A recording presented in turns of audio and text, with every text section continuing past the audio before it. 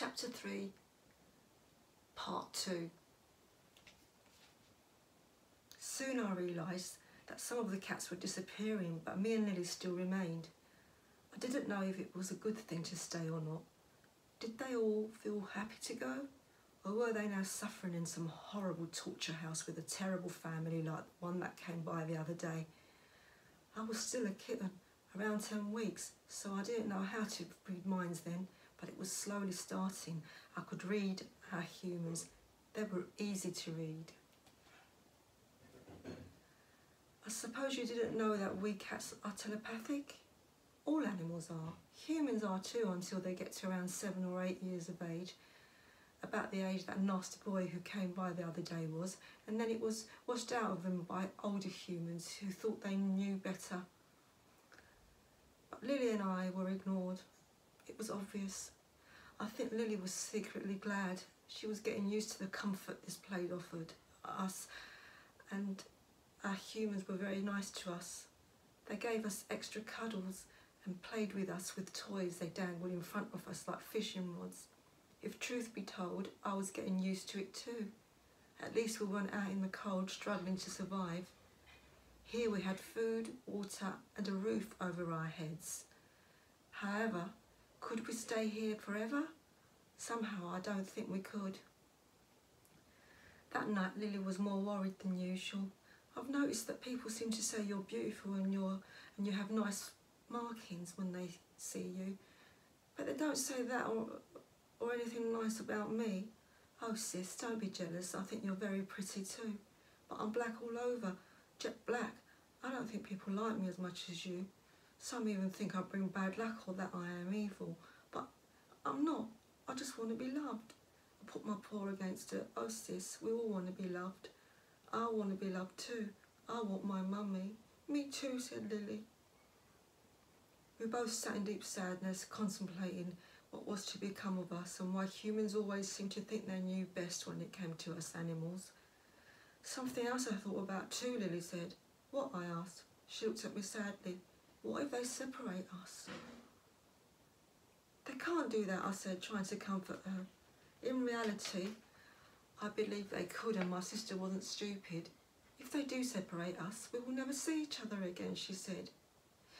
We can send each other telepathic thoughts and love, I said. It won't be the same, Lily said.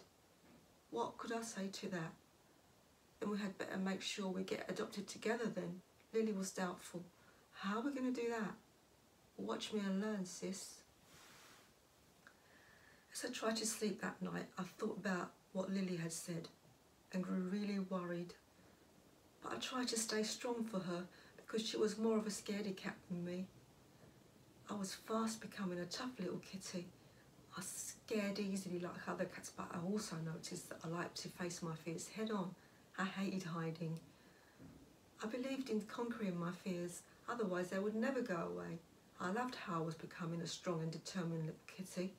Something was missing from my life and I knew it. A mother.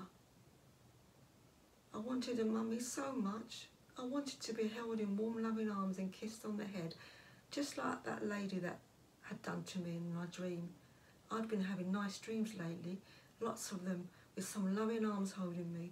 Those dreams were the best, even better than the ones where I'm catching birds.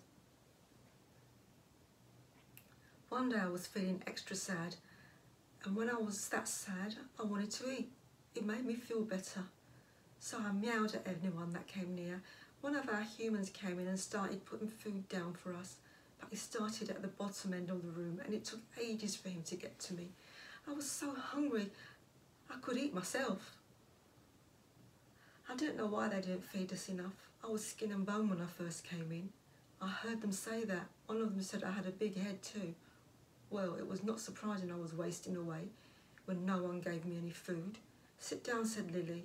Why, I said, I'm hungry. You won't get here any sooner if you keep climbing up the frame and squealing like that. Can't you see he's busy? Shut up, sis. I know what I'm doing. Don't tell me to shut up. I'm older than you. No, you aren't. How do you work that one out?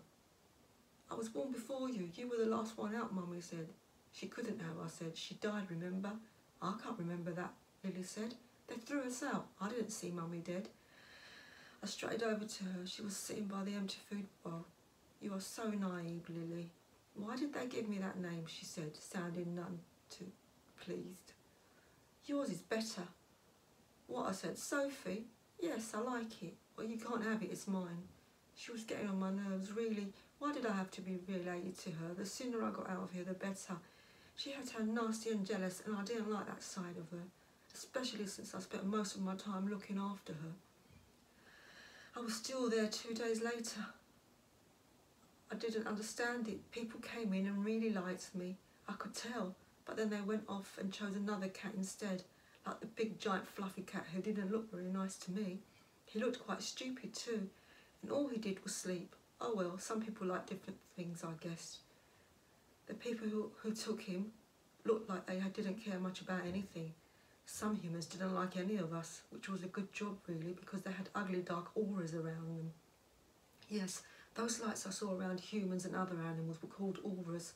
I remembered that after a while. I was growing after all, so I learned more things.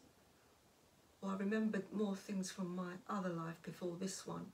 Later that afternoon, a man and a woman came in and I didn't like the look of them at all, regardless of their auras being almost black. They did horrible things, not just to animals, but children too. They were no good. Someone had to do something about them. But what could a mere little kitten do? And one trapped in a prison too at that. They stood in front of mine and Lily's pen. What a cute little kitten, said the woman, leaning forwards. I pulled myself away. Her breath stank. She is just what we're looking for. She looks a bit like a Bengal kitten. Is she a Bengal? Not that I know of, said our human. Her fur is absolutely beautiful, said the woman to the man. He was ugly with small dark eyes and a black beard and no hair. He smelled awful too, whiskey breath. Suddenly he sent me a horrible image of cats having their fur ripped off while they were still alive, bored alive, and lots of screeching, painful meows. Meow, I screamed. There was, this was so wrong. They were coming here to get cats to make into fur coats. Help! Sending cats to make fur coats and other things. Help! A human looked at me with a worried look on his face. He could sense I was upset. I tried to send him a picture I had just seen, but he didn't pick it up. Dumb human. Wake up. We'll have to carry out a home visit first, he said, just to see if it's suitable for rehoming a cat from us. Oh, okay, said the woman, her square face suddenly turning red as they looked over at the man she came with. As she looked over at the man she came with. We didn't know that.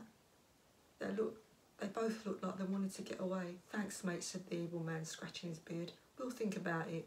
And with that, they went away, leaving a trail of ugly, stinking smells behind and a black, smoky aura after our human saw them out, he returned, looking a bit nervous. He looked at me and actually spoke. Lucky escape there, he said, giving me extra strokes and cuddles as he put down some food for me. I rubbed my head against him. I was beginning to like him a lot. He had read my mind.